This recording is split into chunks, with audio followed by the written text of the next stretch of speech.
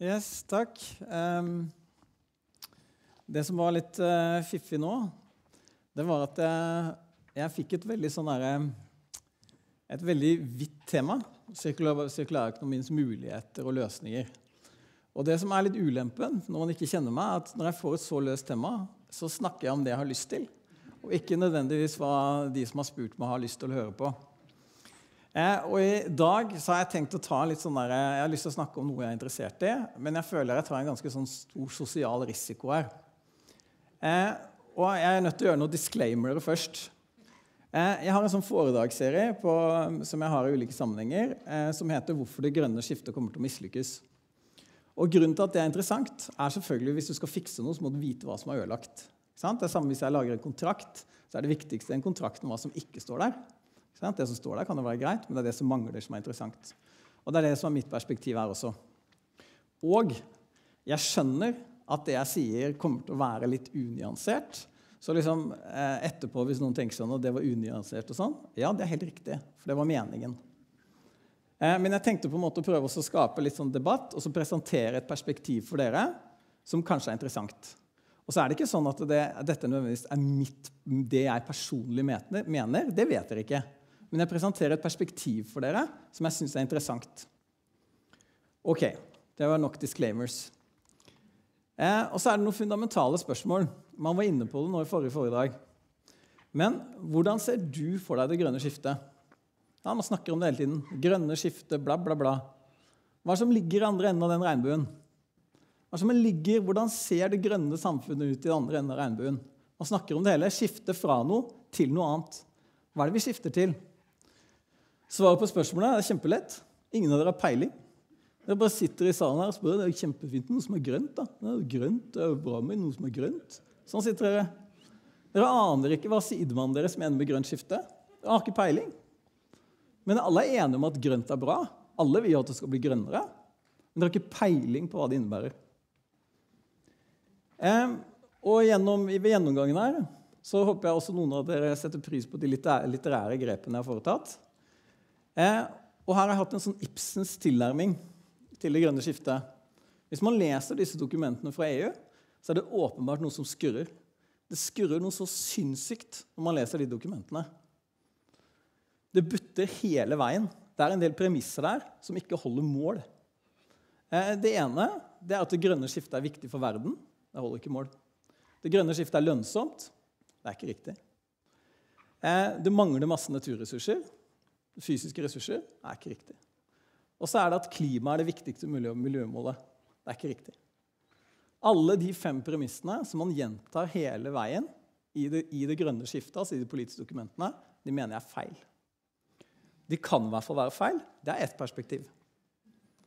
Og Det er på en måte det jeg prøver å gjøre da, i denne foredragsserien min. og se litt på og utforske dette. ikke sant? Holder disse premissene mål? Vi rekker bare å se på to av dem.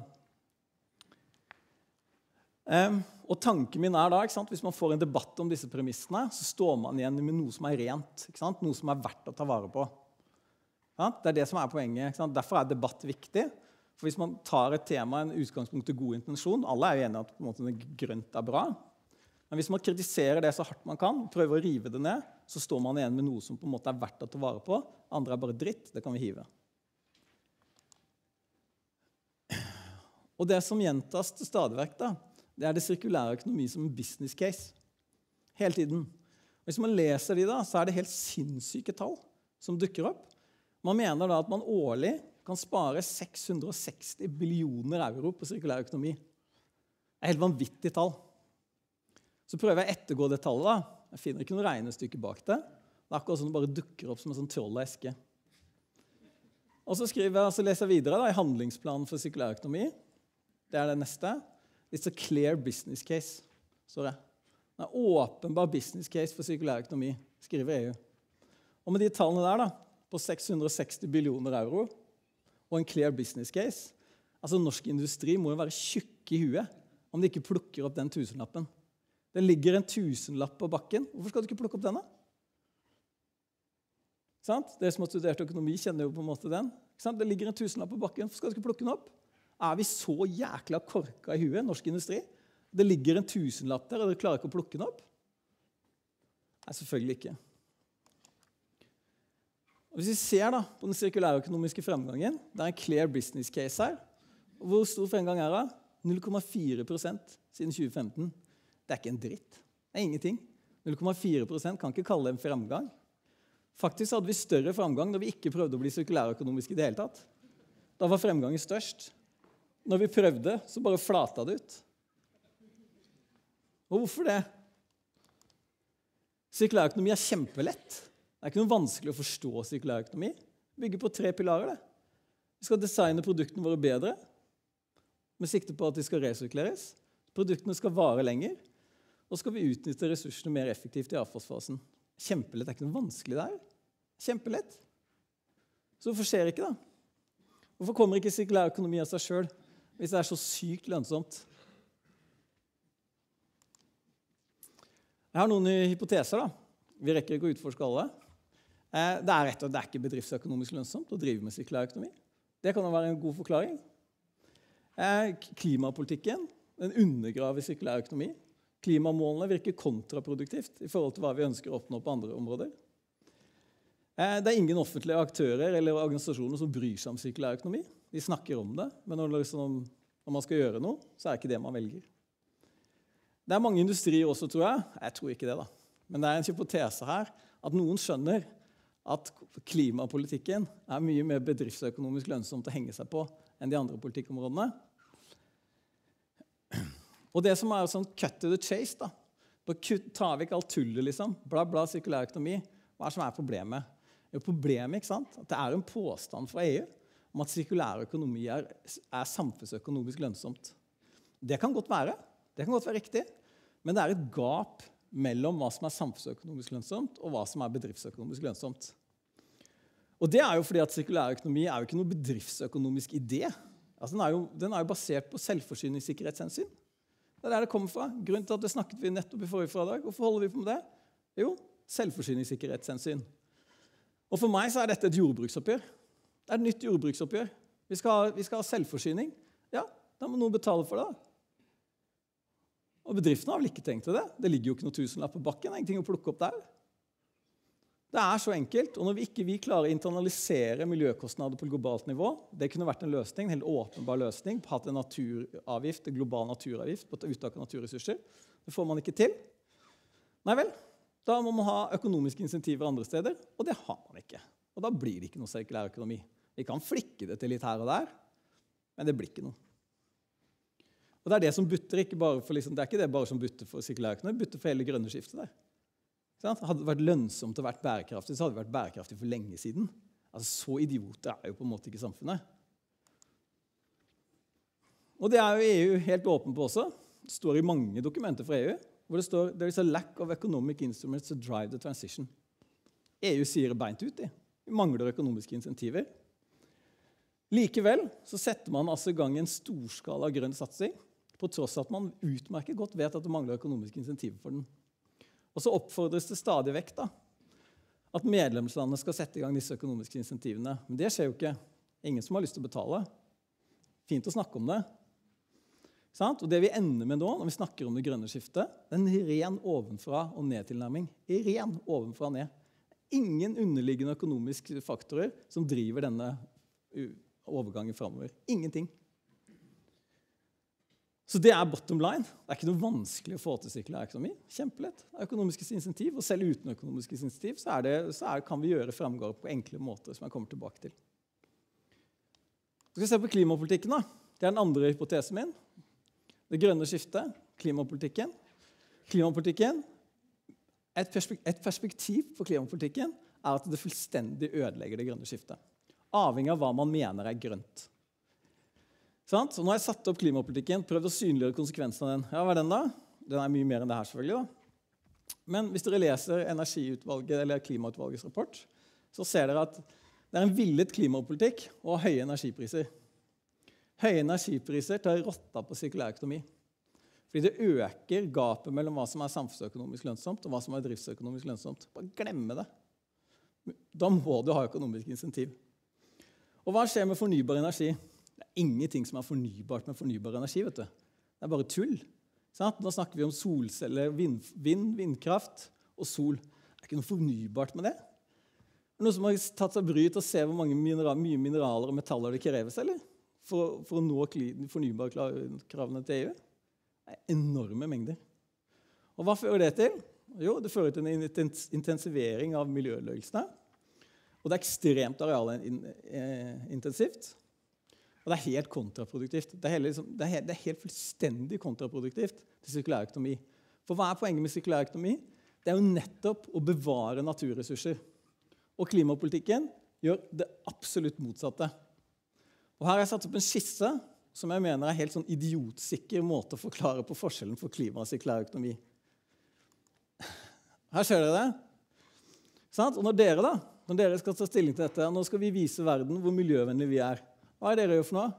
Jo, nå kjøper du en ny elektrisk gravemaskin. Det er svaret deres hver gang dere skal vise hvordan dere, skal, hvordan dere bidrar til det grønne skiftet. Kjøp en elektrisk gravemaskin. Det. det er bare én som står og jubler for det. Det er gruvearbeideren under der. Tommelen opp. han. Men hadde, hadde, man virkelig tatt sirkulær økonomi på alvor, så hadde man tatt den gamle gravemaskinen sin og så hadde man forlenget levetiden på den. Da hadde man spart naturressurser, gjort miljøet en tjeneste, jordkloden har blitt glad. Ikke sant? Det vi snakker om når vi snakker, ikke sant? Altså, ble, altså, Men hver gang så velger man klima. Når dere skal vise dere framfor verden, så velger dere klima. Og det er fullstendig kontraproduktivt til hva den sirkulære økonomien prøver å, prøver å oppnå. Fullstendig andre endring, andre endring. Dette regnestykket går ikke opp. Nå skal jeg vise dere hva som skjer i praksis. Jeg har mange flere selvfølgelig eksempler enn dette. da. Dette er det som skjer. Ingen har peiling på hva det grønne skiftet innebærer. Det har ikke peiling! Ingen aner. Og da er det sånn Ja, nå skal vi ha et grønt skifte. Ja, Da vi, trenger vi havbunnsmineraler. Så vi på en måte tar den lille biten av norsk sokkel som ikke er berørt, den skal vi ta knekken på nå. Da ble det havbunnsmineraler. Og hva skjer i andre saker? Jeg har ti andre slider, altså, men det var dette jeg rakk. NRK 18.3.2024 sier ja til å bygge ned mer eh, natur. Miljødirektør Grete Helgås og statsforvalteren alvorlige miljøskader. Hva sier regjeringen da? Eh, det er noen alvorlige miljøskader her, men herregud, den industrien som skal der, er viktig for det grønne skiftet. Så det gjør jo ikke noe. Det er helt topp. Kjempebra. Sant? Og der sitter alle. Alle sitter sånn ja, Vi må, vi må knuse noen egg for å lage en omelett. Sitter sånn. Men ingen aner jo hva som er i andre enden. Det er ikke peiling. Bare Alle er jo enige at det skal være grønt, men ingen av dere her aner hva et grønt skifte innebærer. Det er ikke peiling. Men det er en utrolig effektiv måte da, å lede altså liksom, altså Fra et sånt der kommunikasjonssynspunkt så må jo på en måte dette være den, helt, altså den ultimate ideen på, på en måte en god intensjon. altså Den er helt uangripelig. Altså Andre gode intensjoner kan man angripe, men alle på en måte vil at det skal bli grønnere. Men alle har forskjellig mening om hva det innebærer. Det er helt fascinerende. da. Og da skal, skal jeg prøve ganske presist gjennom omformulering av noen eh, gamle ordtak å si hvor vi befinner oss hen. Nei, sorry, det var litt for tidlig. Ja, men min konklusjon da, Hvis vi snakker om sirkulærøkonomi, hvorfor lykkes ikke dere? Det lykkes ikke dette? Det er fordi klimapolitikken vår den er satt over all annen politikk. All annen, Og det bringer hele det grønne skiftet ut av ubalanse. Fullstendig ut av balanse. For klimapolitikk det er ikke det samme som et grønt skifte. Det er ikke det samme. Og hvis vi hadde sett da, hvis vi hadde sett bare, og så vet jeg det er nyanser her, men jeg sier det likevel, men hvis man ser da, og ser på hvor mye grønnere har planeten blitt de siste to tiårene Sykt mye grønnere. Et areal tilsvarende halvparten av USAs areal har blitt grønnere på jordkloden de siste, de siste på en måte to tiårene. Så det er ikke sånn. Det er ganske grønt allerede. Men det vet jo ikke dere noe om. For dere må jo da, Hvis vi skal ta et grønt skifte, så må vi ta stilling til hvor grønt er det nå. Og hvor mye mer grønt ønsker vi det i framtiden. Det vet vi jo ikke. Aldri vært noen politisk debatt om det. Og det er jo ikke så rart, for det er jo ikke noe Norge har bestemt. Det er EU som har bestemt dette. Så til deres forsvar det er jo ikke så rart at det på en måte ikke har tenkt over heller. Men hvis vi skal oppsummere, da, hvor står vi? Og Her mener jeg en ganske nøyaktig gjengivelse på hvor vi er på vei. Veien til ødelagt verden er brolagt med grønne intensjoner. Der er vi. Det er ikke, et, er ikke et egg som ikke er stort nok, som kan knuses på den veien. Så lenge intensjonen er grønn nok, kan enhver miljøødeleggelse rettferdiggjøres. Det er der vi er. Det er helt, og, dette er et, og det er et utrolig effektivt, effektiv kommunikasjonsgrep For så, ingen, så, lenge ingen har peiling på hvordan det skal se ut i andre enden av regnbuen, så er det bare å kjøre dette kortet hele veien. Og alle er jo enige. Og for å avslutte innenfor tiden Det verste med dette, det er at det er deres skyld. Dere sitter her, og dere har muligheten til i, altså, Vi kan godt si at politikerne gjør for lite, og de kan for lite. og sånn. Det er ikke galt, det. Det er riktig, det. Men dere har jo også et ansvar. Det er dere som for, alle praktiske formål skal implementere dette. Og dere tar ikke ansvaret deres. Hver gang dere skal ta et valg som er på en måte sirkulærøkonomisk og skal spare verden for ressurser, så gjør dere motsatte. For dere kjøper inn på en måte en elektrisk gravemaskin eller et eller annet sånt tøys. Det er ingenting med sirkulærøkonomi å gjøre i det hele tatt. Og det er det dere som har ansvaret for det. Samme politikerne offentlig innkjøp. De har ikke peiling. Ingen som aner hvilke krav de skal stille.